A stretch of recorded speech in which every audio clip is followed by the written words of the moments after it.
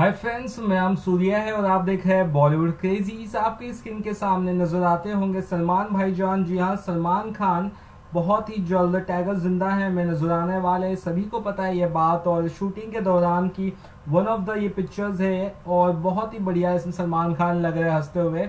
और सलमान खान के सामने आप एक एक्टर को देखते होंगे, काफ़ी हट्टे खट्टे। इनको आपने कई सारी फ़िल्मों में और भी देखा होगा मेरे हिसाब से। और बहुत अच्छा उनका भी लुक है और सलमान खान तो हमेशा से ही सुल्तान लगते हैं तो इस फ़िल्म में भी धमाका करने वाले सलमान खान और ये लुक बहुत ही ज़्यादा एक्साइट कर रहा है मुझे। मैं बेसब्र हो रहा हूँ कि ये फ़िल्म जल्द से जल्द रिलीज़ हो और मैं इस फ़िल्म को देखूँ।